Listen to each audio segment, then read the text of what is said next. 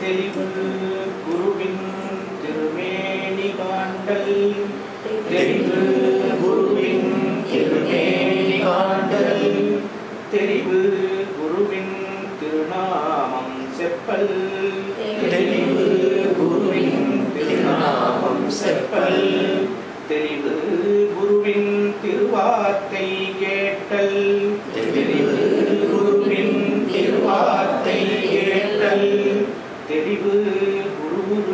சிந்தித்தல் தானே தெளிவு குரு குரு சிந்தித்தல் தானே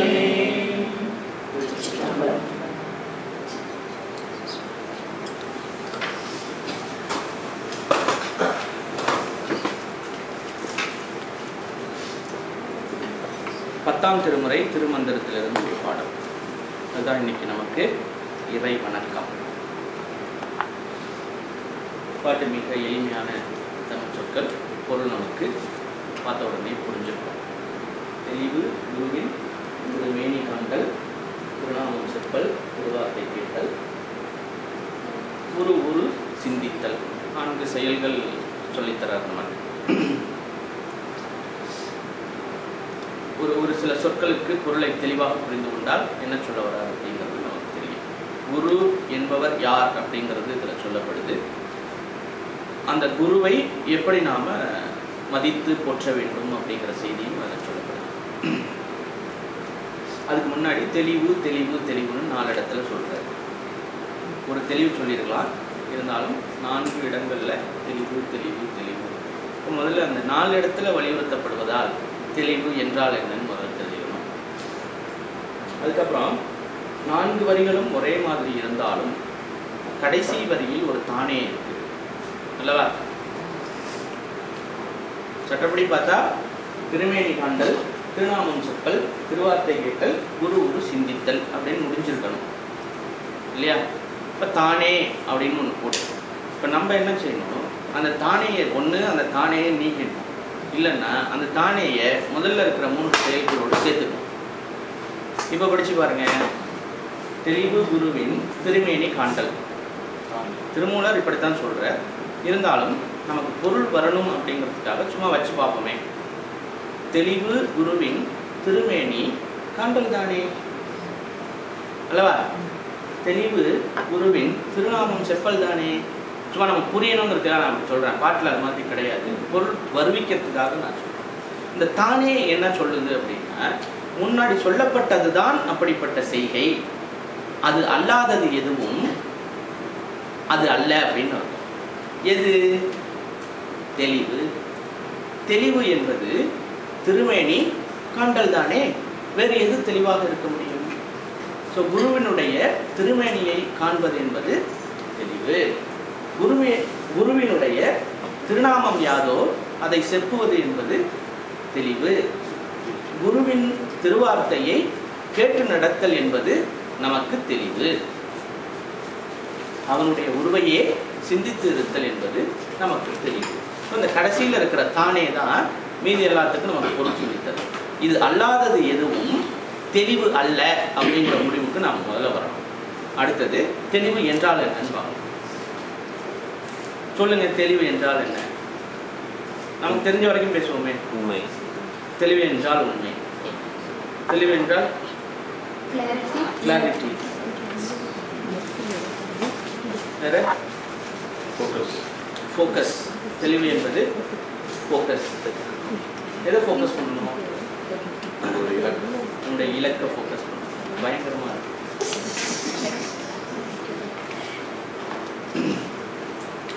தெளிவு என்றால் என்ன? அப்படின்னா ரெண்டு விஷயத்தை நீங்கள் கையில் எடுக்கணும். ஒன்று ஐயம். மற்றொன்று திரிவு எந்த பொருளையும் ஐயப்பாட்டுடனும் அல்லது திரிபாகவும் காண்பது நம்முடைய இயல்பு.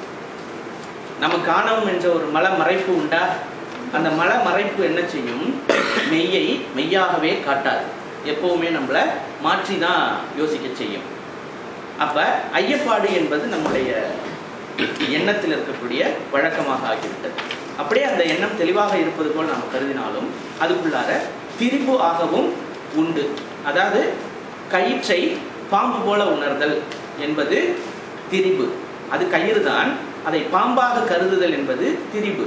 எது அப்படி நினைக்க வைத்தது என்று சொன்னால் ஆணவம் என்ற மலம் என்பது நமக்கு தெரியும். இது பாம்பா கைரா பாம்பா கைரா என்ற ஒரு ஐயப்பாடும் உண்டு. ஆக ஐயப்பாடும் உண்டு. அந்த ஐயப்பாடிலிருந்து வெளிப்படுவதற்கு முன்னாலே திரிபாகவும் அது ஆகிவிடுகின்றது. கிடக்கிறது என்னமோ கயிறு தான். சந்தேகம் வந்தது அது ஐயம். அடுத்தது ஒரு முடிவு பண்ணிட்டோம் பாம்புன்னு. அப்ப திரிபு திரித்து முடிவு எடுக்கின்றோம் அப்ப ஐயமும் திரிபும் நமக்கு இயல்பாக போகிவிட்டது. அல்லவா? இது இல்லாத நிலை எதுவோ அதுவே தெளிவு. ஐயமும் திரிவும் இல்லாமல் மெய் உணர்வை பெறுதல் ஆவது திரிவு. ஆணவ மலக்கட்டிலிருந்து விடுபட்டு முழு அறிவு நிலையில் உள்ளதை உள்ளபடி தெரிந்து கொள்ளுதல் தெளிவு. சரியா? ஓவர் கான்ஃபிடன்ஸ் இருந்ததுன்னா அது வந்து ஆணவமாக நிச்சயமா. ஓவர் கான்ஃபிடன்ஸ் நமக்கு வந்து செயல் மேல வந்து ஒரு பயம் இருந்ததுன்னா அதுவும் ஆணவம் தான்? அதுவும் ஆணவம் ஓவர் கான்ஃபிடன்ஸ் அல்லது பயம். இது ரெண்டுமே குணத்தின் அடிப்படையில் வரக்கூடியதுங்க. ஆணவம் தான் எல்லாத்துக்கும் அறியாமைக்கு காரணம் என்றாலும் குணம் என்று இன்னொரு தத்துவம் உண்டு. அந்த குணத்துக்குள்ளார சத்துவம் ராசசம் தாமசம் என்று மூன்று பிரிவுகள் நம்ம பார்த்திருக்கோம். அல்லவா? இந்த பயம் என்பது தாமச குணத்தினுடைய உந்துதல். அது குணத்தோட அடிப்படையில் வரக்கூடியது இங்க இங்க தெளிவு என்று திருமூல நாயனார் சொல்வது ஐயமும் திரிவும் இல்லாத மெய் உணர்வு திரி தெளிவு. இந்த தெளிவு நமக்கு எதை தரும் என்று சொன்னால் குருவின் திருமேனி காண்டல். குரு என்பவர் நமக்கு இங்கே சொல்லப்படக்கூடிய குரு நமக்கு குரு அப்படின்னு சொன்னா ஒரு டீச்சர் அப்படின்னு நம்ம நினைச்சிட்டு இருக்கோம். அல்லவா? இங்க நாயனார் சொல்லக்கூடிய குரு என்பது சிவமே ஆகும். ஏன் அப்படி சொல்றாருன்னு சொன்னா மனிதர்களுக்கு குரு என்பவன் சிவன் மட்டுமே. ஏனையோர்கள் குருவாக இருக்க முடியாது. இந்த உலகியலிலும் இறையியலிலும் வழிகாட்டக்கூடியவர்களாகத்தான் இருப்பார்களே ஒழிய ஆணவமாகிய மலத்தை முற்றும் நீக்கி ஆட்கொண்டு அருளக்கூடிய குருவாக இருக்கவே முடியாது. சாதாரண மனிதர்கள். சரியா? இது ஒரு முக்கியமான செய்தி. குரு என்பவன் சிவன் ஒருவனே வேற யாருமே குரு அல்ல. ஆனால் நாம நிறைய பேரை குருவாக நம்புவது உண்டு அது தவறுங்க. ஒரு குரு அப்படின்னா எப்படி கண்டுபிடிக்கிறது? அவர் குருவா இல்லைன்னு எப்படி கண்டுபிடிக்கிறது? முதல்ல எதுக்கும் காசு வாங்கக்கூடாது. முதல்ல எதுக்கும் காசு வாங்க நீங்க அப்படி சொல்லக்கூடாது. பொருள் இல்லாதபடி உலகம் இல்லை. அது குருவுக்கு அந்த குருவுக்கும் பொருந்தும். அல்லவா? அதனால காசு இல்லாம வேலை செய்ய முடியாது எனவே குரு ரொம்ப சிம்பிள்ங்க நான் தான் கடவுள் என்னை வழிபாடு செய்க அப்படின்னு யாராவது சொன்னா அவர் அவுட்டுன்னு இல்லையா? அவர் குருவர் குரு யார் அப்படின்னா யார் சாமின்னு நமக்கு சொல்லி கொடுப்பாரு. அவர் தான் குரு. யார் சாமி அப்படின்னு நம்ம சொல்றோம் யார் நமக்கு தலைவன் அப்படிங்கிறத நமக்கு சொல்லி தருவார். அவர் தான் குரு. யார் சொல்லி தர முடியும்? யார் ஒருவர் அவனை கண்டறிந்தார்களோ அவர்கள் தான் சொல்லி தர முடியும். அல்லவா? உலகிலே ஏதாவது ஒரு படிப்பு ஒரு மேல் படிப்பு படிக்கணும். ஒரு பேச்சுக்கு மருத்துவம் படிக்கணும்னு வச்சுக்கோமே. யார்கிட்ட போய் படிக்கிறது? வக்கீல்கிட்ட போய் படிக்க முடியும். மருத்துவர்கிட்ட தானே படிக்க முடியும்? அப்ப ஞானமாகிய திருவருள் கிடைக்க கொடுக்கக்கூடியவன் தான் வந்து குருவாக இருக்க முடியும். சிவத்தை நமக்கு அறிமுகப்படுத்தக்கூடிய ஒரு பொருள் தான் குருவா இருக்க முடியும். அல்லவா? திருவருள் தான் நமக்கு பெருமானை காட்டும். அல்லவா? அப்ப திருவருள் ஏதோ ஒரு உருவத்துல வந்து நமக்கு அருள் செய்யும். அதுவே குரு நிலை ஆகும். சரியா? இப்ப குரு என்றால் யாரு? சிவபெருமான். அல்லவா? இப்ப தெளிவு என்பது நமக்குள்ளே ஏற்பட்டிருக்கக்கூடிய பக்குவ நிலை அல்லது மெய்யறிவு என்பது குருவின் திருமேனி காண்டல் அப்படின்னு சொல்றாங்க. சிவபெருமானுடைய திருமேனியை பார்ப்பதுதான் நாம் தெளிவடைந்தோம் என்பதற்கு சான்று. சரியா? இந்த இடத்துல நீங்க எல்லாம் ஒரு கேள்வி கேட்கணும்னு நினைக்கிறேன். யாரும் இன்னும் கேட்கல. எந்த உருவத்துக்காக பார்க்கறது? எந்த உருவத்துல சிவபெருமானை பார்க்கறது? எந்த உருவத்துல பார்க்கறது? குரு என்றால் சிவன் என்று சொல்லியாச்சு. இங்க எங்கேயாச்சும் இருக்காரா சிவபெருமான்? காணும். அப்புறம் எப்படி நான் அவனுடைய திருமேனியை எப்படி பார்ப்பது? திருமேனி காண்டல் அப்படின்னு சொல்றாரு. அவர் திருமேனியை பார்ப்பது தான் நமக்கு தெளிவு அப்படின்னு சொல்றாங்க. எப்படி பார்ப்பது? ஒரு கேள்வி. சரியா? அடுத்தது குருவின் திருநாமம் செப்பல் அப்படின்னு சொல்றாங்க. அந்த குரு யாரோ? அவருடைய பெயரை சொல்லுங்கள் அப்படின்னு சொல்றாங்க. நமக்கு குரு யாரு? சிவபெருமான். சிவபெருமான். அப்ப அவனுடைய திருநாமத்தை செப்புதல் அப்படின்னு. அது எந்த நாமம்? யாருக்கு தெரியும்? எந்த நாமம்? நமச்சிவாயன் தெரியும். சரி கொஞ்ச நேரம் கழிச்சு அதை நான் மாத்தி சொல்றேன். தெளிவு குருவின் திருவார்த்தை கேட்டல். அவர் என்ன சொல்றாரோ அதுபடி கேட்டு நடங்க. அது உங்களுக்கு தெளிவு அப்படின்னு சொல்றாங்க இப்போ சிவபெருமான் வந்து தானே நம்மள்ட்ட சொல்லணும்? குரு சிவபெருமான்னு சொல்லிட்டு அவர் தான் நம்மள்ட்ட வந்து சொல்லணும். அல்லவா? அவர் வந்து நம்மள்ட்ட பேசுவாரா? பேசியிருக்காரு அது வரைக்கும்? அவர் ரெடியா இருக்கார். நம்ம தான் இன்னும் போகல பேசுறோம். சரியா?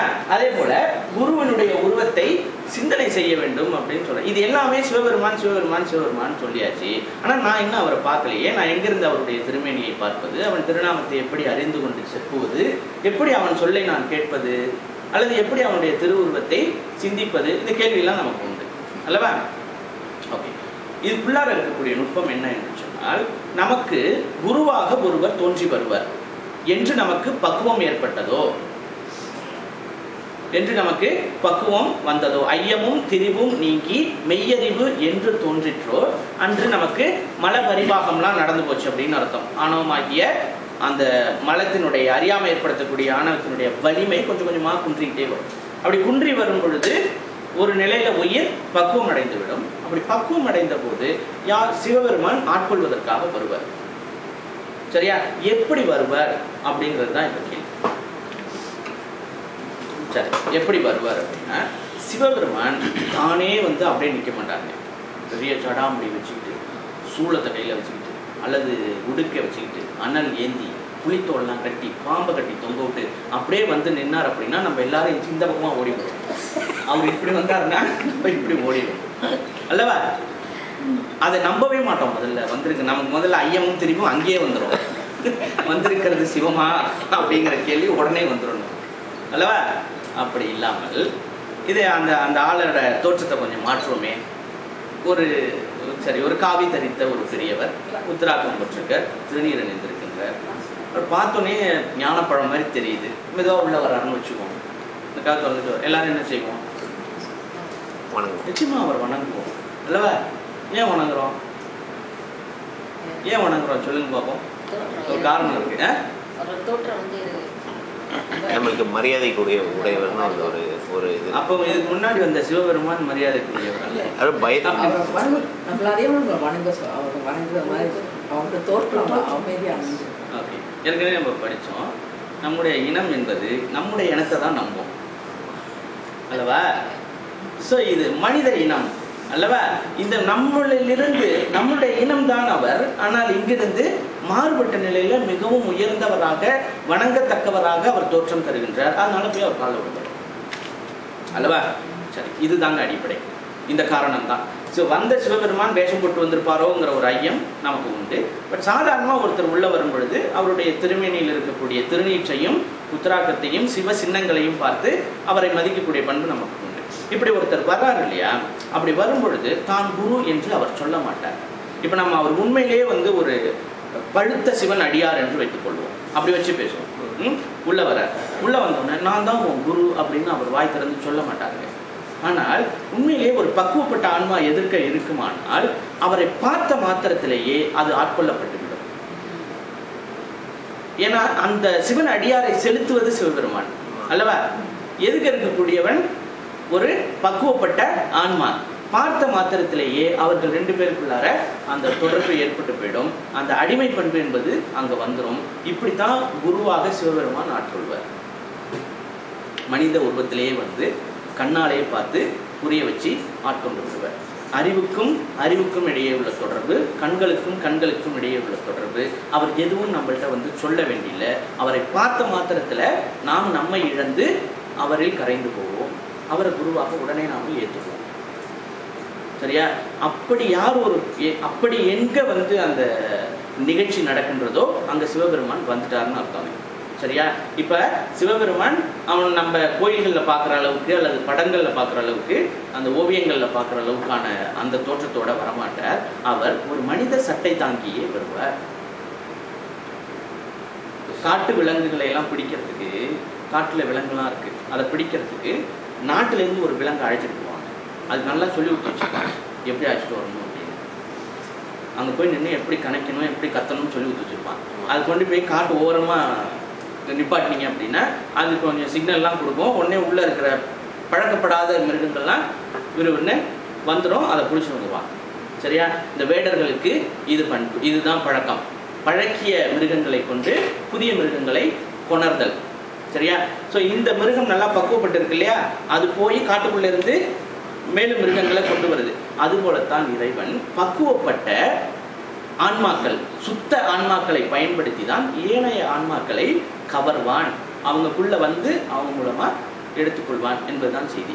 அப்படி யார் ஒருவர் நமக்கு அமைகின்றாரோ அவர் தாங்க குரு. சரியா? அந்த குருவை இப்ப அடுத்தது இன்னொரு பிரச்சனை இருக்கு.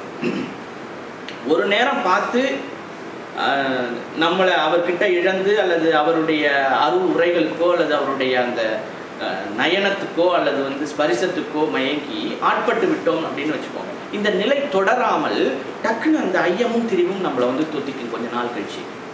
கொஞ்ச நாளைக்கு அது கூடவே இருப்போம். அதுக்கப்புறம் மீண்டும் நம்ம இவர் வந்து நிஜமாவே குருவா இருப்பாரா அப்படிங்கிற ஐயம் நமக்கு வந்துடுறதுக்கு உண்டான வாய்ப்பு இருக்கு.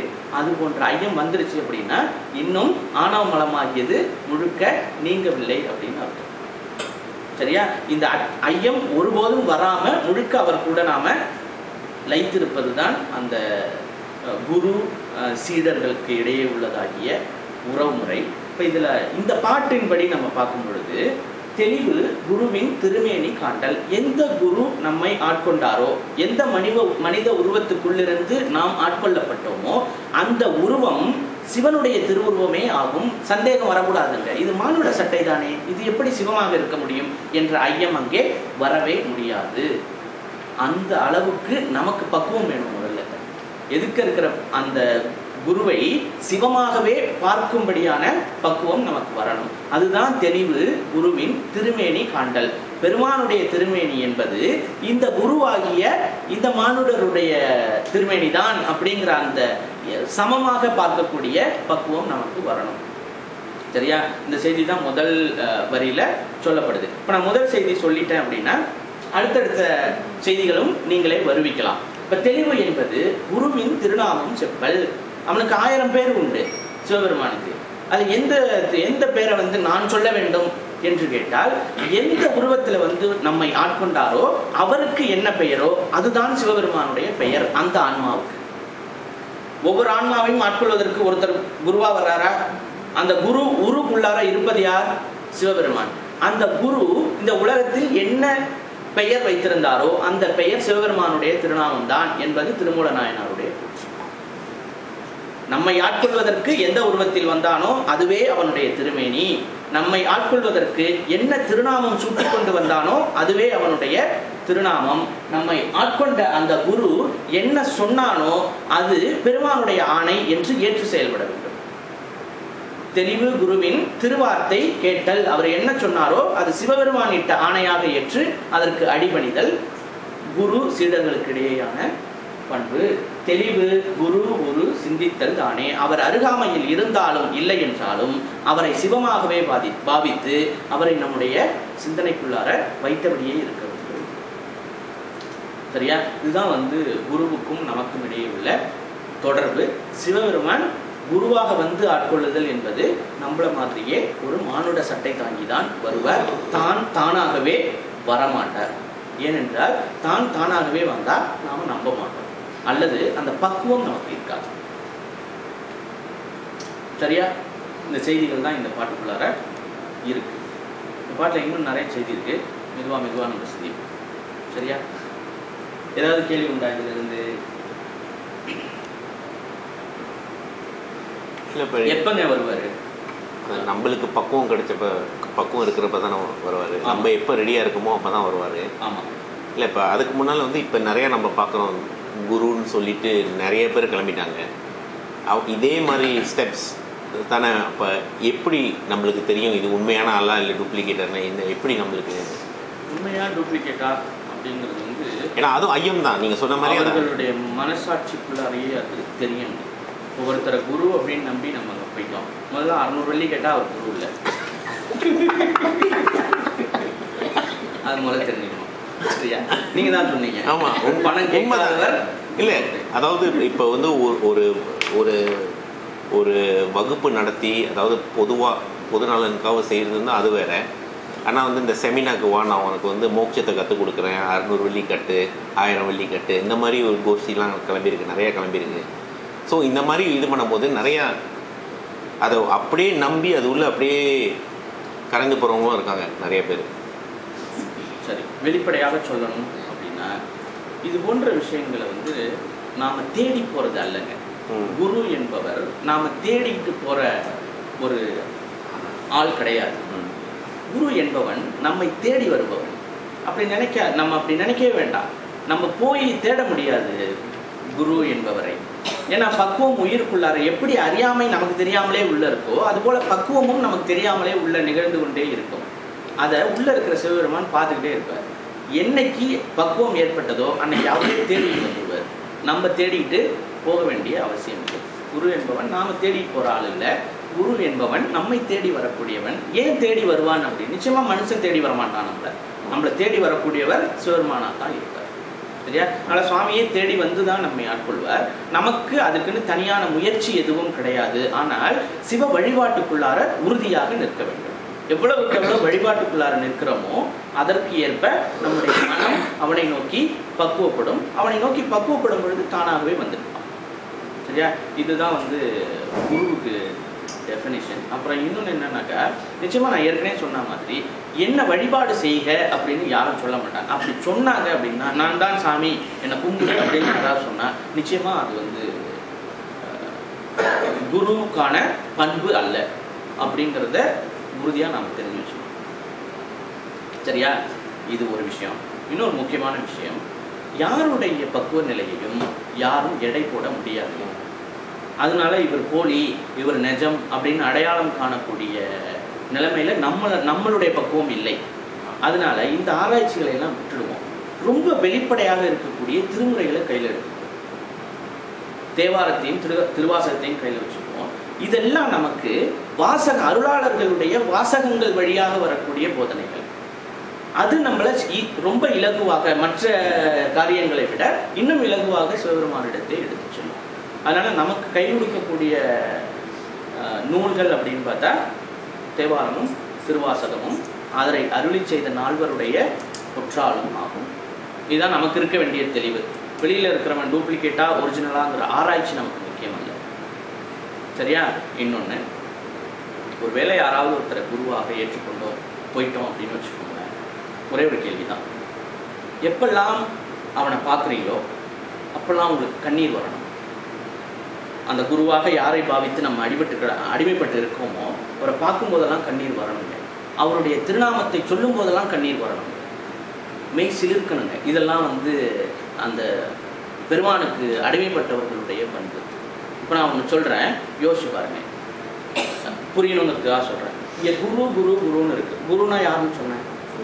சிவபெருமான். சிவபெருமான் சொன்னேன். எல்லாரும் பளிச்சுன்னு சொல்கிறீங்க சிவபெருமான். இப்போ நான் ஒன்று ஒரு ஒரு ஒரு ஒரு உத்தி ஒன்று சொல்லித்தரேன் படிச்சு பாருங்க எப்படி இருக்கு அப்படின்னு. அங்கே இருக்கிற குரு எல்லாத்தையும் நீக்கிடுங்க. அந்த இடத்துல எல்லாம் சிவபெருமான் போட்டு படிச்சு பாருங்க. சிலுக்குதா இல்லையா? இருக்கா இல்லையா? நம்மளை அறியாமலே ஒரு ஈர்ப்பு அந்த இடத்துக்குள்ளார வரும். யோசிச்சு பாருங்க. தெளிவு என்பது சிவருமானுடைய திருமணியை காண்பது. அது என்ன அவ்வளவு ஈஸியா தெளிவு என்பது சிவருமானுடைய திருநாமத்தை ஓயாமல் செப்புவது. தெளிவு என்பது சிவருமானுடைய திருவார்த்தையை கேட்பது. எவ்வளவு நல்லா இருக்கும். சாமி வந்து நம்மள்கிட்ட பேசினார். அல்லவா? அவனுடைய திருவார்த்தையை கேட்பது. தெளிவு என்பது அவனுடைய திருவுருவத்தை சிந்தித்தபடியே இருப்பது. இதுதான் ஸோ குரு என்பவன் சிவபெருமானே ஆவான். இதைத்தான் நமக்கு திருமூலர் சொல்லித்தரார் குரு என்பவன் சிவபெருமான்.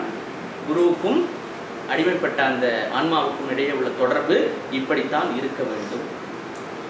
ஸோ அப்போ நீங்கள் கேட்ட கேள்விக்கு பதில் எங்கெங்கெல்லாம் அந்த குருவை பார்த்த உடனே கண்ணீர் பெருகலையோ அதெல்லாம் போலி குரு அப்படிங்கிற போலிகளை கண்டு ஏமாறாதே அப்படின்னு நமக்கு நாமே சொல்லிட்டு உடையாடணும் அங்கே போய் ஐநூறு வெள்ளி கட்டிடக்கூடாது. சரி நல்லது. வேற எதுவும் இந்த இந்த அளவுல வழிபாட்டை நிறைவு செய்து பாட்டு பாட்டுக்குள்ள போகலாம். சரியா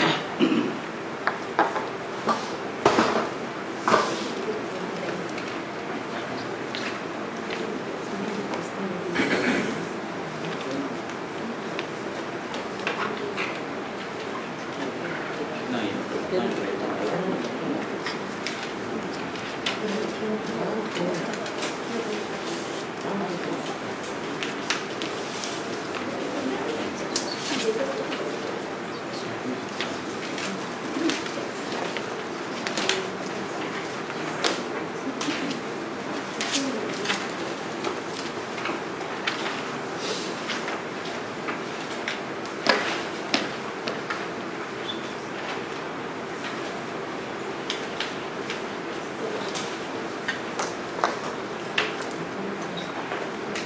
இன்னைக்கு நாம படிக்க வேண்டிய தலைப்பு. அருள் உரு நிலை.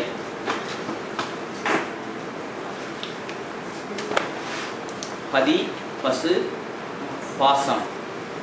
இது மூன்றையும் முதல்ல பெற்றோம் அதுக்கப்புறம் அருளை பற்றி சிந்திக்கிறோம். இது மூன்றையும் தொடர்புபடுத்தி நிற்கக்கூடியதாகிய பொருள் உண்டு.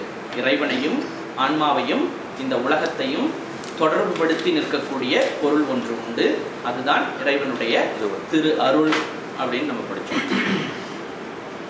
அந்த அருளினுடைய நிலை எப்படி இருக்கின்றது? எப்படி அருள் நமக்கு உதவி செய்கின்றது என்பதையும் படித்தோம் எப்படி உதவி செய்கின்றது? அருள் என்பது நிலம் போல நம்மை தாங்குகின்றது. இந்த நிலம்தான் நம்மை தாங்குகின்றது. அதுபோல அருள் நமக்கு ஆதாரமாக இருக்கின்றது. எப்படி இந்த நிலம் நம்மை தாங்கியும் கூட நிலத்தை நாம் கண்டுகொள்ளவில்லையோ அதுபோலவே அருள் நம்மை தாங்கியும் கூட அருளோடு நாம் இயைந்திருந்தும் கூட அதை நாம் கண்டுகொள்வது இல்லை அப்படிங்கிற செய்தியையும் பார்த்தோம். அல்லவா? இப்ப அருள் எவ்வளவு எந்த மாதிரி எல்லாம் ஆதாரமா இருக்கு என்று பார்த்தோம். அப்படிப்பட்ட அருள் நமக்கு எப்படியெல்லாம் தோன்றி வரும் அருள் இருக்குங்கிறத ஒரு வழியை ஒரு வாராக புரிஞ்சுக்கிட்டோம் அப்படின்னு வச்சுக்கோங்க. இப்போ எப்படி அந்த அருள் அரு- அந்த அருளினுடைய திரு திருவருளினுடைய உருவம் எப்படி இருக்கும்? எப்படி நம்மை அணுகி வரும்? பொதுவாக எல்லா உயிர்களையும் காப்பதற்காக அது ஆதாரமா இருந்து தாங்குது ரைட்டு இண்டிவிஜுவலை எப்படி அப்ரோச் பண்ணுது? சரியா? ஸோ அருள் உருநிலை. உரு அப்படின்னா அந்த அந்த ஃபார்ம் இருக்கு இல்லையா? அந்த அருள் திருவருளுடைய ஃபார்ம் எப்படி இருக்கும்? அதை பற்றி தான் இந்த இந்த அதிகாரம் பேசுகின்றது.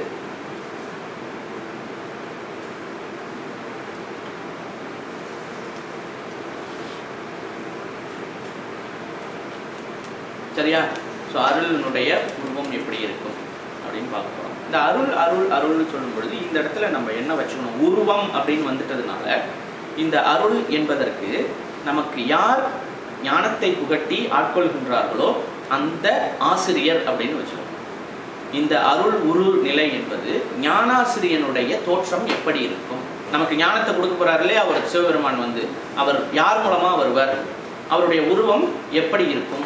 அப்படிங்கிற செய்திகளை இந்த பாடல் நமக்கு தொகுத்து தருகின்றது.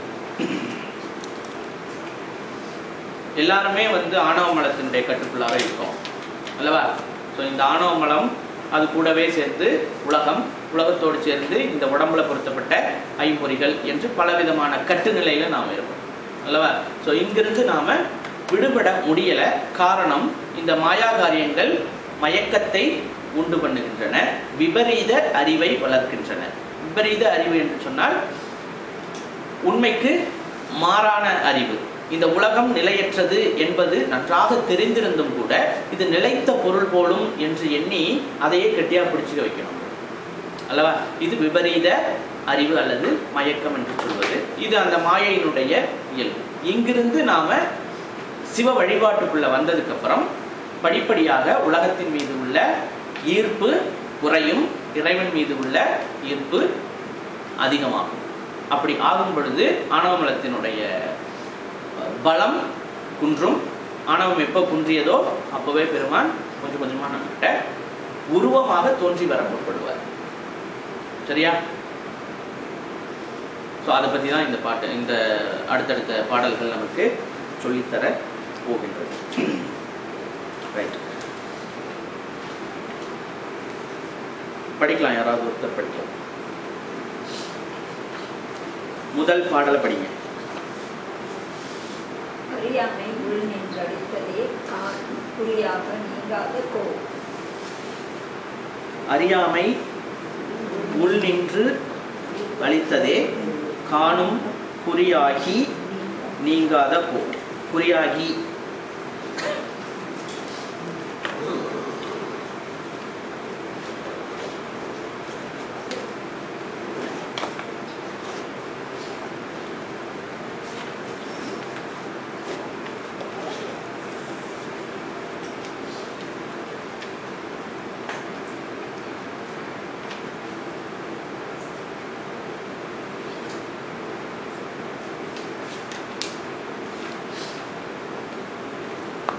அறியாமை உள் நின்று அழித்ததே காணும் குறியாகி நீங்காத போ. அறியாமை அப்படிங்கிறது தான் முதற் சொல் அப்படின்னு வச்சுக்கோமே. அறியாமை உள் நின்று அழித்ததே. நான் மூணு சொற்கள் சொல்லிட்டேன் இப்ப. அறியாமை உள் நின்று அழித்ததே. காணும் குறியாகி காணும் குறியாகி. இப்ப நான்கு சொற்கள் சொல்லிட்டேன். அடுத்தது நீங்காத போ சரியா? அறியாமை உள் நின்று அளித்ததே காணும் குறியாகி நீங்காத கோ. கோ என்றால் தலைவன் அப்படின்னு அர்த்தம். இந்த இடத்துல கோ என்பது சிவபெருமானை குறிக்கும். அவனே ஞான குரு சிவபெருமான் தான் நமக்கு ஞானகுரு ஆனால் ஆனா மானிட வடிவில் வந்து உபதேசம் செய்வார். அறியாமை உள் நின்று அழித்ததே அப்படின்னா எந்த ஒரு பொருள் நமக்குள்ளே நின்று தன்னை மறைத்து கொண்டு உலகத்தை காட்டியதோ அந்த பொருளே அப்படின்னு அர்த்தம். இந்த மூணு சொற்களுக்கும் சேர்த்து. அறியாமை உள் நின்று அழித்ததே அப்படின்னா ஆணவமாகிய மலத்துக்குள்ளார நம்ம கிடக்கிறோம். அதிலிருந்து நம்மை மீட்பதற்காக ஏதோ ஒரு பொருள் உள்ளே மறைந்து கொண்டு தன்னை மறைத்து கொண்டு உலகத்தை காட்டி நம்மை பக்குவத்தில் செலுத்தியது. எந்த பொருளோ அந்த பொருளே அப்படின்னு அர்த்தம். அளித்ததேன்னு போட்டிருக்கு இல்லையா? எது தன்னை மறைத்து கொண்டு உலகத்தை காட்டி ஆன்மாக்களை பக்குவப்படச் செய்ததோ அப்படின்னு அர்த்தம். அந்த பொருளே என்ன ஆகுமா? காணும் குறியாகும் அப்படின்னு எழுதியிருக்கிறதுல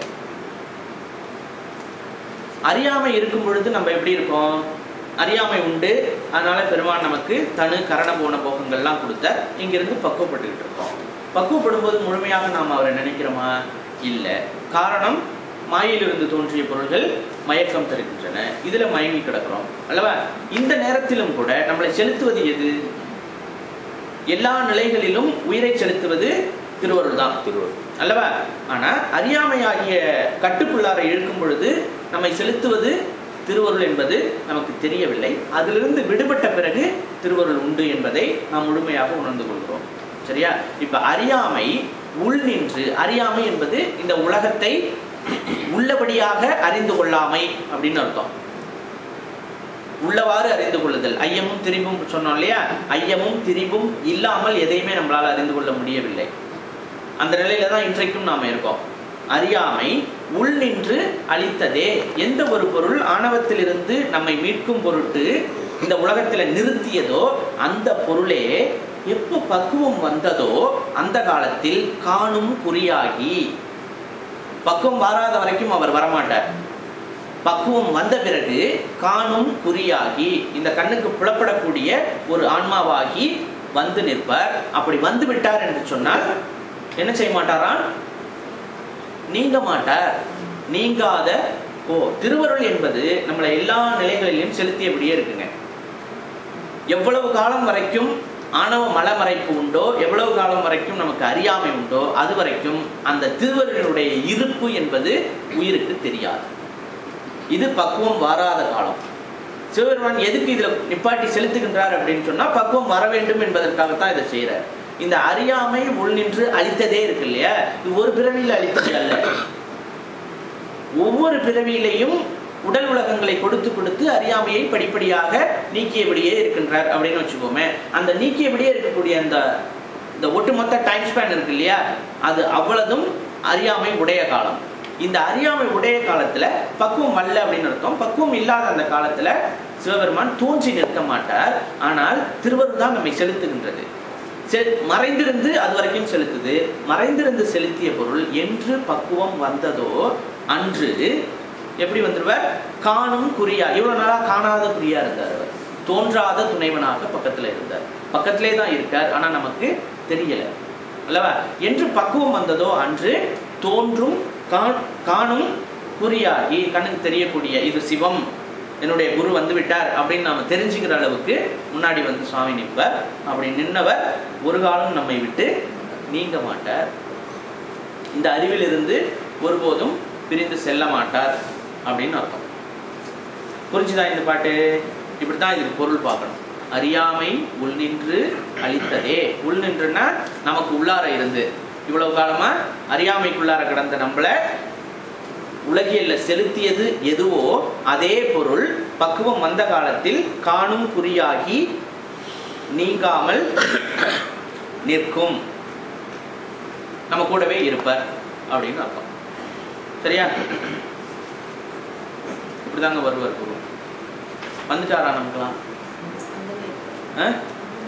வந்துட்டே இருக்காரா? எப்படி சொல்றீங்க? உணர்வுகள் சொல்லுது. அல்லவா? நமக்கு யாருங்க குரு? நீங்க சிவபெருமான விட்டுருங்க. அவரை பத்தி பேசாதீங்க. யாரு குரு நமக்கு? அப்பா. இல்ல. என்னங்க? ஆ. நமக்கு யார் குரு? யாராச்சும் நமக்கு யார் குருன்னு கேட்டா நால்வர் பேரை உடனே சொல்லணும். அவங்க தான் நமக்கு குரு? நம்ம தாய் தரப்புன சொல்லக்கூடாது. நால்வர் பெருமக்கள் தான் நமக்கு வழிகாட்டிகள் அவர்களுடைய வாக்கு தான் நமக்கு சிவபெருமானுடைய வாக்கு. அதை தான் எடுத்து நாம் ஓதணும். சரியா? அதுவே நம்மளை வந்து சிவபெருமானை காட்டி கொடுத்துரும் நமக்கு சரியா? அப்பருடைய திருநாமம் இருக்க திருநாவுக்கரசு தானே? திருநாவுக்கரசு. அந்த ஒரு சொல் சும்மா குரு என்பதற்காக சொல்ல வரேன் திருநாவுக்கரசு அப்படிங்கிற அந்த ஒரு சொ- ஒரு சொல்லை வச்சுக்கிட்டே ஒருத்தர் முத்தி அடைஞ்சிட்டார். யார் அவர்? சொல்லுங்க பார்ப்போம் ஒரே ஒரு ஒரு வார்த்தை தான். திருநாவு இங்கே ஒன்றும் சிவபெருமான்னு இல்லை நமச்சிவாயம்னு இல்லை சிவ சிவாயனம்னு இல்லை. ஒருத்தர் என்ன பண்ணார்? திருநாவுக்கரசுன்னு ஒரு பேரை பிடிச்சிட்டாரு. அதை வச்சு முத்தி அடைஞ்சிட்டாருங்க யார் அவரு? வீடு கட்டினார் திருவாஸ் திருநாவுக்கரசன் பேர் வச்சார். கடை வச்சார் திருநாவுக்கரசன் பேர் பேர் வச்சார். தண்ணீர் பந்தல் வச்சார் திருநாவுக்கரசன் பேர் வச்சார். வீட்டில் எரும மாடு வளர்த்தார் திருநாவுக்கரசன் பேர் வச்சார். புள்ள பெத்தார் திருநாவுக்கரசன் பேர் வச்சுட்டார். யார் அவர்? அவங்க அவங்க வீட்டுல எல்லாமே திருநாவுக்கரசன் அப்போது. ஏங்க ரொம்ப அப்போது அடிகள் குரு யார் அப்படிங்கிறதுக்காக சொல்ல வரேன். குரு என்ற அந்த பொருள் மீது நமக்கு எவ்வளவு ஈடுபாடு இருக்க வேண்டும் என்பதற்காக சொல்ல வரேன். அறுபத்தி மூணு நாயன்மார்கள்ல ஒருத்தர் அப்பூதடிகள் அல்லவா? அவருக்கு சிவபெருமானை விட திருநாவுக்கரசு என்ற பெயர் தான் முக்கியம். இதுல பெரிய ஆச்சரியம் என்னன்னா திருநாவுக்கரசர் நம்மளாவது குரு வருவான் வருவான் பார்த்து ஆட்கொள்வான் அப்படின்னு சொல்றோம். திருநாவுக்கரசரை முன்ன பின்ன அப்பூதடிகள் பார்த்ததில்லைங்க. அந்த திருநாமம் மட்டுமே அவரை முத்தி கேட்டு சென்றது. ஒரு நாள் திருநாவுக்கரசரே வந்து நிற்கிறார் அப்போ கூட அவருக்கு தெரியல வந்து நிற்பது அந்த பெயர் மட்டும்தான் அந்த திருநாமம் தான் அவருக்கு முத்தி கொடுத்தது அப்படின்னு சொல்லணும். தானே வந்து நின்னும் கூட அந்த அந்த கதையெல்லாம் உங்களுக்கு தெரியும் படிச்சிருப்பீங்க அப்படின்னு நினைக்கிறேன். எதுக்கு சொல்ல வந்தேன்னா குரு எப்படி இருப்பார் எப்படி வருவார் அந்த குரு அப்புறம் அந்த அடிமைப்பட்ட ஆன்மா இவங்க ரெண்டு பேருக்கும் இடையே உள்ள அன்பு எப்படி இருக்கணும் அப்படிங்கிறதுலாம் சொல்லுவாங்க. ஸோ பக்குவம் அடையும் காலத்தில் சிவபெருமான் தோன்றி வருவார். சரியா? இந்த ப- இந்த செய்தியை தான் இந்த முதற் பாடல் நமக்கு கற்றுத்தருகின்றது. அடுத்த பாட்டை படிக்கலாம்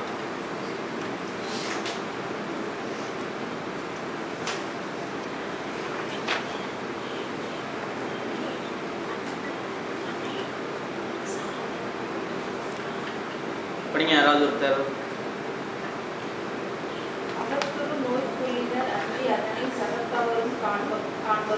வெரி குட் அகத்துரு நோய்க்கு உள்ளினர் அன்றி அதனை சகத்தவரும் காண்பரோதான்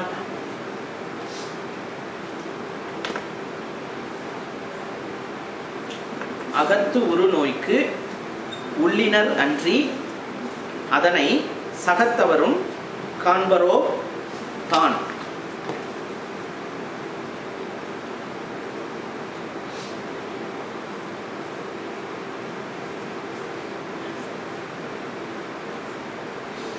சிவபெருமான் நம்மளை நம்முடைய உயிருக்குள்ள இருந்தபடி பார்த்து கொண்டே இருக்கிறான் அப்படின்னு அந்த பாட்டு சொல்லி தருகிறாங்க. சிவபெருமான் நமக்கு உள்ளுக்குள்ளே இருக்கான் நம்மளை வேடிக்கை பார்த்துட்டே இருக்கான். பக்குவம் அடைஞ்சிட்டா அடைஞ்சிட்டா அடைஞ்சிட்டான்னு வெயிட் பண்ணிட்டு இருக்காரு உள்ள. எப்போ பக்குவம் அடையும் எப்போ நாம குருவாக முன்னாடி போய் நிற்கலாம் அப்படின்னு வெயிட் பண்ணிட்டு இருக்காரு. சரியா? ஸோ நம்மளை நிறுத்தி பக்குவப்படுத்தி பக்குவம் வந்த உடனே தோன்றி வருவார். எந்த அளவுக்கு பக்குவம் ஆயிருக்கு அப்படிங்கிறது அவருக்கு மட்டும்தாங்க தெரியும். அதனால தான் ஏற்கனவே சொன்னோம் யாருடைய பக்குவ நிலையையும் யாராலும் எடை போட முடியாது. அது பெருமான் மட்டும்தான் செய்வர். அந்த செய்தியை தான் இந்த பாட்டு நமக்கு சொல்லித்தருது உயிரினுடைய பக்குவத்தை உள்ளிருந்து காண்பான் பக்குவம் எட்டிவிட்டது என்று சொன்னால் வெளிப்பட்டு தோன்றுவான். அகத்து உரு நோய்க்கு உள்ளினர் அன்றி. ஒரு வீட்டுக்குள்ள அகம் என்றால் வீடு அப்படின்னு வச்சுக்கிட்டோம்னா அந்த வீட்டுக்குள்ள இருக்கிறாங்க இல்லையா? அதுல யாரோ ஒருத்தருக்கு உடல்நலம் குன்றிற்று அப்படின்னு வச்சுக்கோங்க. ஸோ அப்போ அகத்து ஒரு நோய்க்கு வீட்டில் இருக்கிற ஒருத்தருக்கு நோய் இருக்கு அப்படின்னு சொன்னா அந்த நோய் யாருக்கு தெரியும்? பக்கத்து வீட்டுக்காரருக்கு தெரியுமா? இல்லை.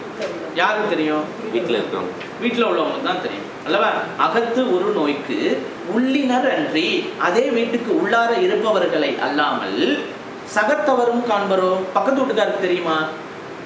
தெரியாது. எங்க வீட்டில் இருக்கிற ஒருத்தருக்கு உடம்பு சரியில்லைன்னா எனக்கு தான் தெரியும். பக்கத்து வீட்டுக்காரருக்கு தெரியறதுக்கு வாய்ப்பு கிடையாது. ஒருத்தர் வந்து ஒரு பெரிய பதவியில் இருக்கார் அப்படின்னு வச்சுக்கோங்க பெரிய பதவி. அன்னைக்கு ஒரு நாள் அவருக்கு கடுமையான தலைவலி வேலைக்கு போக முடியல. அவர் வீட்டில் இருந்துட்டார். சரியா?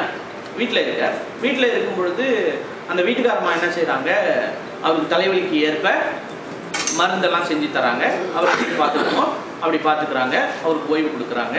உணவெல்லாம் சமைச்சு போட்டு அவருக்கு அந்த தலைவலி நீங்கும்படியாக அவரை ஒரு நாளைக்கு கவனிச்சுக்கிறாங்க அப்படின்னு வச்சுக்குவோம் அதே நாள் அவங்க ஆஃபீஸ்ல இருந்து ஆளுங்க வீட்டுக்கு வராங்க. ஏன்னா அது ரொம்ப முக்கியமான வேலை. இவர் வேலைக்கு வராமல் விட்டுட்டார். உடனே அவன் நாலு ஃபைலை தூக்கிட்டு ஆஃபீஸ்க்கு வரான் இங்கே கையெழுத்து போடு அங்கே கையெழுத்து போடுன்னா எல்லா இடத்துலையும் போட்டு கொடுத்தாரு. எல்லாத்தையும் சிரிச்சு பேசினார். கொடுத்த லெட்டர்ஸ்லாம் வாங்கி வச்சுக்கிட்டாரு. அவருடைய வேலையை எப்போதும் போல் அவர் செய்தார். வந்தான் பார்த்தான் கையெழுத்து வாங்கினான் வேலையை முடித்தான் போயிட்டான். அவர் ஏன் ஆஃபீஸ் போகலன்னு அவருக்கு தெரியுமா? அவனுக்கு தெரியாது. அவருக்கு என்ன ஆச்சுன்னு அவனுக்கு தெரியுமா? தெரியாது. அல்லவா? அவருக்கு கடுமையான தலைவலி நோய்வாய்ப்பட்டிருக்கார் அதனால வீட்டுக்குள்ளார இருக்கார் அப்படிங்கிற விஷயம் யாருக்கு தெரியும்? அந்த வீட்டுக்காரமாவுக்கு மட்டும்தான் தெரியும். வந்தவருக்கு அது தெரியாது. அல்லவா? அதுபோலத்தான் உள்ள அடைபட்டிருக்கக்கூடிய இந்த உயிருக்கு என்ன நோய் எவ்வளவு நோய் எவ்வளவு மருந்து கொடுக்கணும் என்பது உள்ள இருந்து செலுத்துபவனாகிய இறைவனுக்கு தான் தெரியும். அவனை தவிர வேற யாருக்கும் தெரிவதற்கு வாய்ப்பு இல்லை. நெத்தி நிறைய திருநீர் கழுத்து நிறைய உத்ராட்ச மாலை ஒரு பெரிய காவி உடை அல்லது ஒரு பெரிய சடாமுடி அப்படிலாம் வச்சுட்டு ஒருத்தர் வர்றாரு அப்படின்னு சொன்னாக்க அவர் எந்த அளவுக்கு பக்குவம் பக்குவமானவர்னு எப்படிங்க கண்டுபிடிக்கிறது?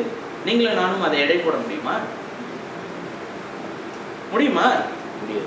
முடியாது. ஏன்னா அவருடைய ஒரிஜினல் பண்புகள் என்ன அப்படிங்கிறது அவர் வீட்டில் இருக்கிறவங்களுக்கு தெரியும் அல்லது அவருக்கு நெருங்கி பழகக்கூடிய நண்பர்களுக்கு மட்டும்தான் தெரியும். வெளித்தோற்றத்தை வச்சு எதையும் யாரும் எடை போட முடியாது. அந்த ஆஃபீஸர்கிட்ட வந்து கையெழுத்து வாங்கி போனாலே ஆஃபீஸ் ஸ்டாஃப் அவனுக்கு அவருக்கு என்ன நோய்ங்கிறதே தெரியாது. வந்தான் கையெழுத்து வாங்கினா கிளம்பி போயிட்டான். ஆனால் உண்மை தெரிஞ்ச ஒரே ஆள் யாரு? அவரோட வீட்டுக்காரன் தான் அல்லவா அதுபோலத்தான் இந்த உடம்புல ஒரு நோய் வந்தது என்று சொன்னால் முதல்ல யாருக்கு தெரியும்? இந்த உடம்புக்குள்ளார ஒரு நோய் வந்து போச்சுங்க. ஒரு வெள்ளம் அடிக்கடி வயிற்று வலி வருது. அடிக்கடி வயிற்று வலி வருதுன்னு யாருக்கு தெரியும்? முதல்ல யாருக்கு தெரியும். நமக்கு தான் தெரியும். அல்லவா? அகத்து ஒரு நோய் அகத்தை உடம்பு என்று கொண்டால் அதுக்குள்ளே ஒரு நோய் இருந்தால் முதலில் அறிந்து கொள்வது அங்கே தங்கி வாழக்கூடியதாக உயிர்தான். அல்லவா? அதுபோல உயிரை அகம் என்று கொண்டீர்களேயானால் அந்த உயிருக்குள்ளே இருக்கக்கூடிய நோயாகிய அறியாமை ஆணவ மனத்தால் தோன்றிய அறியாமை தான் உயிருக்கு இருக்கக்கூடிய நோய். இந்த நோய் இருக்குங்கிறத யாருக்கு தெரியும்? முதல்ல யாருக்கு தெரியும்? உயிருக்கு உயிராக இருந்து செலுத்தக்கூடிய பெருமானுக்கு தான் தெரியும். அவனை தவிர வேற யாருக்கும் தெரியும். எவ்வளவு அறியாமை இருக்கு அல்லது எவ்வளவு அறியாமை குறைந்து அறிவு பக்குவ நிலையை நோக்கி போயிருக்கு அப்படிங்கிறது உள்ளிருந்து செலுத்தக்கூடியவனாகிய இறைவனுக்கு தான் தெரியும். வேற யாருக்கும் தெரியாது. ஒருவரை ஒருவர் நமக்குள்ளாரே பக்குவ நிலையை பொறுத்த வரைக்கும் எடை போட முடியாது. அது இறைவன் ஒருவனுடைய செயல்தான் அப்படிங்கிறது தான் இந்த பாட்டு நமக்கு சொல்லித்தது அகத்து உருநோய்க்கு அந்த வீட்டுக்குள்ளேயே இருக்கிறவங்களை தவிர வேற யாருக்கும் தெரியாதது போல இந்த உடம்புக்குள்ள இருக்கிற நோய் உயிருக்குத்தான் முதல்ல தெரியும். கடைசியில வேற வழியே இல்லை ஆப்ரேஷன் பண்ணி ஆகணும் பெட்ல போட்டாகணும் அப்படின்னு சொன்னதுக்கு அப்புறம் தான் மற்றவங்களுக்கு தெரியும். அந்த மாதிரி கேஸ் எல்லாம் உண்டு. நிறைய உடம்புக்குள்ள நோய் இருக்கும் பட் வெளியிலே சொல்ல மாட்டாங்க. சிவனேன்னு இருப்பான். ஒரு பெ- குடல்ல ஏதோ பிரச்சனை அடிக்கடி வயிற்று வருதுன்னு வச்சுக்கோங்க. வாய் மூடிட்டு பேசாம வரும் அவனுக்கு மட்டும்தான் தெரியும் நோய் இருக்கிறது இல்லவா எப்போ எல்லாருக்கும் தெரிய வரும்? பொண்ணு படுக்க வச்சோன்னு தான் எல்லாருக்கும் தெரிய வரும். ஆப்ரேஷன் பண்ணுற அன்னைக்கு. அது முன்னாடி அவராக வந்து சொன்னாதான் தெரியும் இல்லையா? அது போல தான் ஸோ இந்த உயிருக்குள்ளார இருக்கக்கூடிய நிறை குறைகள் எல்லாம் பக்குவ நிலைகள் எல்லாம் இறைவன் ஒருவனுக்கே வெளிச்சம். நம்மளால அதை எடை போட முடியாது என்பதை தான் அது சொல்லுது. இதுல எங்கெங்க குரு வர்றாரு? இதுல எங்க குரு வர்றாரு? நம்ம குரு தான் குருவை பத்தி தானே இப்ப குருவினுடைய உருவம்னு பேசிட்டு இருக்கோம். எங்க வர்றாரு? சொல்லுங்க பாப்போம். எங்க வர்றாரு? யாரோ ஒருத்தர் உள்ள இருந்து உணர் பார்த்துக்கிட்டே இருக்காரு அப்படின்னு சொல்றோம் இல்லையா? அதுதான் இறைவனுடைய திருவுருவம் உள்ள இருந்து அறிவுக்கு அறிவாக இங்க இந்த இடத்த பொறுத்த வரைக்கும் உயிருக்கு உயிராக இருந்து செலுத்தக்கூடிய திருவருளே அதனுடைய உரு அப்படின்னு நம்ம பார்ப்போம்.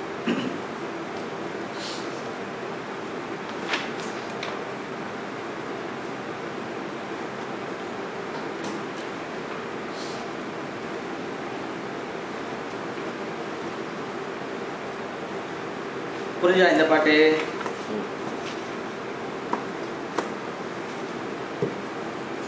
அடுத்த பாட்டை படிக்கலாம். அருளா வகையால் அருள் புரிய வந்த பொருளா அறியா புவி. அருளா வகையால் அருள் புரிய வந்த பொருளா அறியா புவி. பொருள் ஆர் அறிவார்னு இருக்கு அதுல? அதுல பொருளா அறியா அப்படின்னு மாத்துங்க. அப்படிதான் இருக்கு சார் எப்படி. பொருளா அறியா. ஓகே அப்ப என்னோடதுல தான் இருக்கு அருளா வகையால் அருள் புரிய வந்த பொருளா அறியா புவி இந்த பாட்டு என்ன தெரியுமா சொல்லுது சிவபெருமான் குருவாக மனித உருவத்துல தான் வருவார் ஆனா மனிதர்களுக்கு அது தெரியாது. பொதுவா நமக்கு அந்த விஷயம் தெரியாது இறைவன் குருவாக நம் முன்னாடி தோன்றி நிற்பான். ஆனா நமக்கு அவன் தோன்றி இருக்கிறான் என்பதே தெரியாது. அது நமக்கு இயல்பு. எப்படி ஆணவம் நம்மளை பிடிச்சிருக்கு அப்படிங்கிற விஷயமே தெரியாம ஜாலியா இருக்கமோ அதே போல திருவருளும் நம்ம கூட தான் இருக்கு அப்படிங்கிறதையும் நாம தெரிந்து கொள்வது இல்லை அப்படிங்கிறத தான் இந்த பாட்டு சொல்லுது. அருளா வகையால் அருள் புரிய வந்த பொருளா அறியா குவி. சிவம் தானே நேராக வந்து அருள் புரியாமல் ஒரு குருவினுடைய வடிவாக வந்துதான் அருள் புரியும். ஆனால் அந்த தோற்றத்தை இந்த உலக மக்கள் அறிந்து கொள்ள மாட்டார்கள். காரணம் போதிய பக்குவம் இன்மை. சரியா? இந்த செய்தியை தான் இந்த பாட்டு சொல்லுது. இதை விளக்கி சொல்லணும் அப்படின்னா ஒரு சின்ன இன்சிடென்ட்ஸ் ஒரு சின்ன செய்தி சொல்கிறேன் அங்கேருந்து புரிஞ்சுக்க முடியுதா அப்படின்னு பாருங்கள் ஒரு ஊரில் ஒரு பெரியவர் இருந்தார். அவர் தெரியாத கதையே இல்லை. எல்லா விஷயமும் தெரிஞ்சவர். சிவபெருமான நன்கு அறிந்தவர் அப்படின்னு வச்சுக்கோங்க அதே ஊரில் இன்னொரு தம்பதிகள் இருந்தாங்க. அவங்க என்ன செஞ்சாங்க? நேராக அவர்கிட்ட போனாங்க. அவர் பெரியவர் அல்லவா? நமக்கு அது ஒரு பழக்கம். ஏதாச்சும் பிரச்சனைனா ஒரு பெரியவரை பார்த்து அவர்கிட்ட போய் ரிப்போர்ட் பண்ணுறது ஸோ அதன்படியே அவங்களும் வந்தாங்க. எங்களுக்கு என்னது பிரச்சனை அப்படின்னு சொன்னாங்க. என்ன பிரச்சனை அப்படின்னா குழந்தை இல்லைங்க. ஸோ எனக்கு பிள்ளை வேண்டும். சொல்லுங்கள் அறிவுரை கொடுங்க சாமி அப்படின்னு சொன்னாங்க. அவர் பெரியவர் அல்லவா? அவரும் சில அறிவுரைகளை கொடுத்தார். அந்த அறிவுரைகள் படி அவங்க போய் வழிபாடு செய்தார்கள். ஸோ ஒரு ஒரு சிவனடியார் கொடுக்குற அறிவுரை அல்லவா? அதனால அதை ஏற்றுக்கொண்டு அவங்க போய் அந்த வழிபாட்டை செஞ்சாங்க. செஞ்சபடியே அவங்க என்ன நினைச்சாங்களோ அது நடந்துருச்சு. அடுத்த ஆண்டு ஒரு குழந்தை பிறந்தாச்சு. இந்த குழந்தை பிறந்துட்டுங்கிற செய்தியை அந்த பெரியவருக்கு சொல்லியாச்சு. ஐயா நீங்கள் வந்து போய் செய்ய சொன்னீங்க செஞ்சாங்க குழந்தை பிறந்து போச்சு அப்படின்னு. மகிழ்ச்சி எல்லாருக்கும் மகிழ்ச்சி. அப்புறம் அடுத்த வருஷம் ஆச்சு அடுத்த வருஷம் ஆச்சு. ஒரு மூணு வருஷத்துக்குள்ளாரையே அவருக்கு வேற ஒரு செய்தி வந்தது காதுக்கு. என்னென்னா நீங்கள் சொல்லி கொடுத்து ஒரு பிள்ளை பிறந்தது இல்லையா? அது வந்து சைவ சித்தாந்தத்தில் பின்னி எடுக்குது எல்லாருக்கும் பயங்கரமாக உபதேசம்லாம் பண்ணுது. அதுக்குள்ளேயே அது சிவபெருமான மற்றவர்களுக்கு அறிவிக்குது அப்படின்னு ஒரு பெரிய அதிர்ச்சியான செய்தி அவருக்கு போனோன்னே அவருக்கு ஒரு ஆசை வந்துச்சு. நம்ம அந்த பிள்ளையை பார்க்கணும் அப்படின்னு. நேராக விருதுன்னு போனார். எங்கே போனார்? அந்த குழந்தை இருக்கிற ஊருக்கு போகிறாருன்னு வச்சுக்கோங்களேன். அந்த குழந்தை இருந்தது திருவெண்ணைநல்லூர். அந்த குழந்தை இருந்த ஊருக்கு போனேன் போனோடனே அங்கே இருக்கிற பெரியவர்கள்லாம் அந்த குழந்தை இருக்கிற இடத்துக்கு அந்த பெரியவரை அழைச்சிட்டு போனாங்க. குழந்தை ஆணவமாகிய அந்த அறியாமை ஏற்படுத்தக்கூடிய பொருளை பற்றி உபதேசம் செஞ்சிட்டு இருக்கு. மூணு வயசு பிள்ளைங்க. ஆணவத்தை பற்றி உபதேசம் செஞ்சிட்ருக்கு. பெரியவர் அங்கே போகிறார் போகும்போது அந்த பார்த்தார். பார்த்த உடனே அவர் என்ன நினைச்சார்? அவருடைய எதிர்பார்ப்பு ஒரு சாதாரண எதிர்பார்ப்பு என்ன அப்படின்னா அந்த குழந்தையை அவரை வணங்கணும்னு எதிர்பார்த்தார். உண்மைதான் இல்லைன்னு சொல்லலை. ஏன்னா அவர் பெரியவர் அல்லவா? அந்த குழந்தைக்கு மூணு வயசு தான். அந்த குழந்தை அவரை வணங்கணும் அப்படின்னு எதிர்பார்த்தார். அது நடக்கல. அவருக்கு ஒரு சின்ன வருத்தம். மேபி அந்த குழந்தையுடைய கவனம் அணவமாகிய மலத்தை பற்றி சொல்லிக் கொடுக்கறதுல கூட இருந்திருக்கலாம். கொஞ்ச நேரம் பார்த்தார். பார்த்த உடனே அவருக்கு இன்னொன்று தோணுச்சு. இது என்ன ஆணவத்தை பற்றி பேசுது? இதுக்கு என்ன தெரிய போகுது? ஏன்னா வணக்கமே சொல்லலை முதல்ல. அதுவே பெரிய பெரிய வருத்தம்.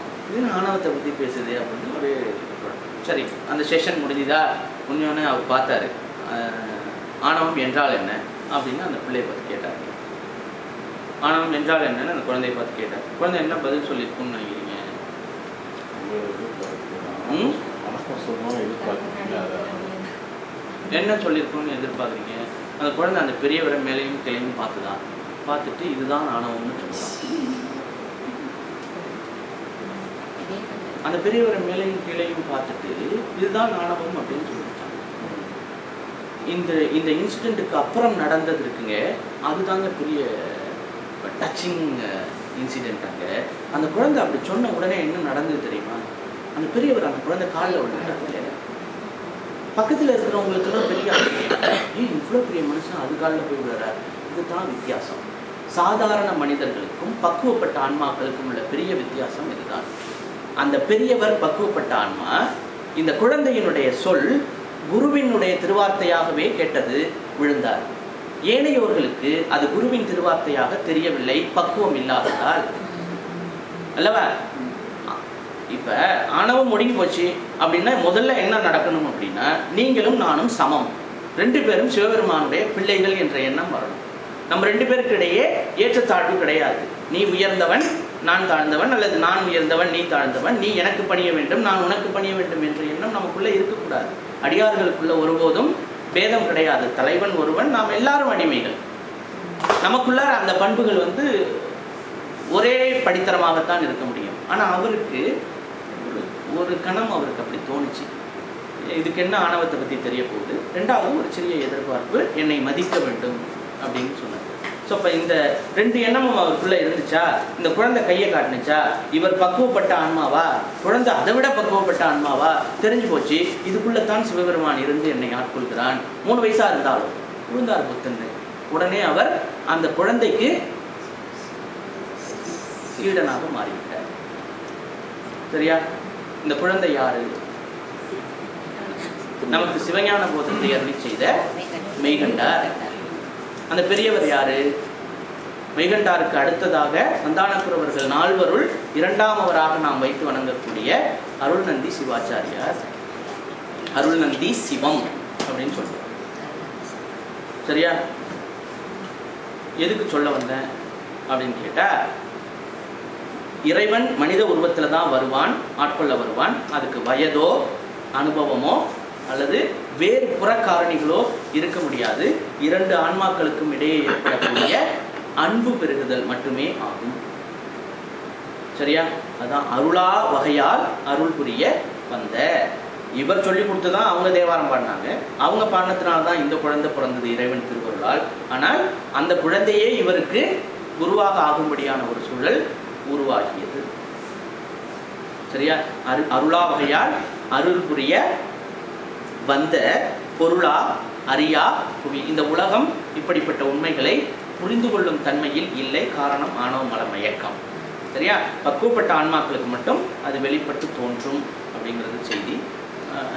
அந்த குழந்தை பிறந்ததுக்கு வழி சொன்னார் அப்படின்னு சொன்னோம் இல்லையா? என்ன சொல்லி கொடுத்தாருன்னு நினைக்கிறீங்க? அந்த பிள்ளை பிறக்கணும்னா நீ இன்ன வழிபாடு செய்யணும். அப்படின்னு சொல்லி என்ன என்ன என்னவா இருக்கும்னு நினைக்கிறீங்க? அந்த பெரியவர் ஒரு தேவாரத்தை சொல்லி கொடுத்தார். என்ன தேவாரம்? தெரிஞ்ச பாட்டு தான். தெரிஞ்ச பாட்டு தான். அந்த தேவாரத்தை பாடினா மெய்கண்டார் மாதிரி ஒரு குழந்தை பிறக்கணும்னு அர்த்தம் வேற ஒன்றும் இல்லை.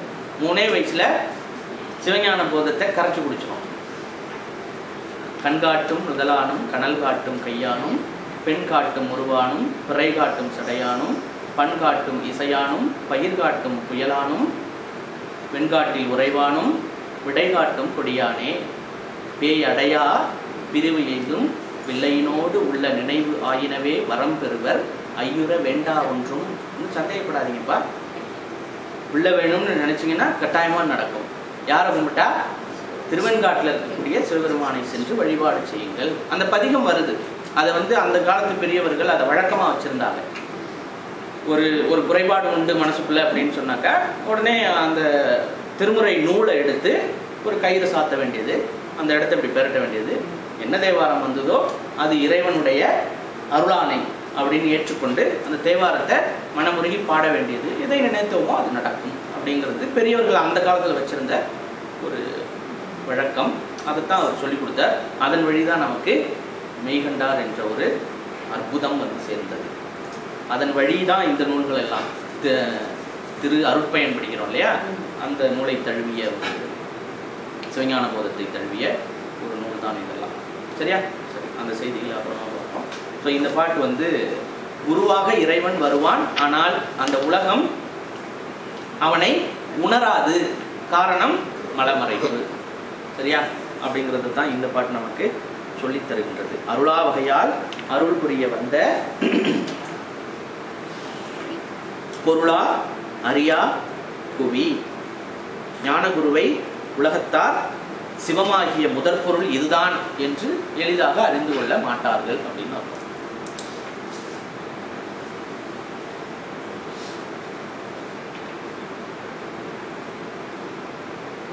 நல்லது. அடுத்த பாடல். யாராவது படிங்க. இதை இருண்ட போதமாம் மெய் இரண்டும் காணா மிக.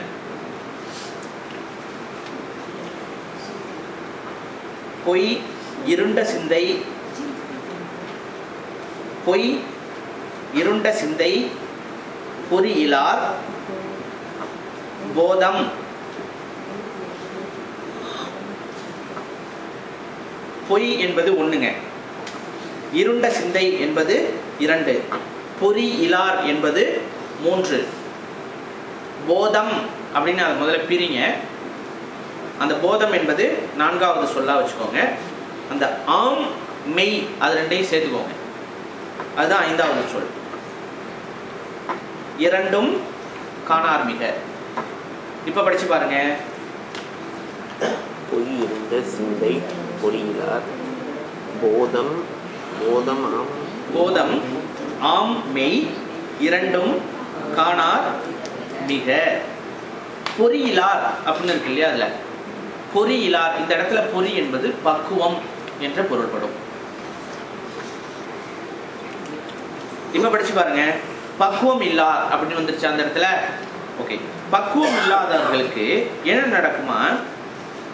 பொய் இருண்ட சிந்தை இது ரெண்டும் உண்டு அவர்களுக்கு. பொய் என்பது ஆணவம்.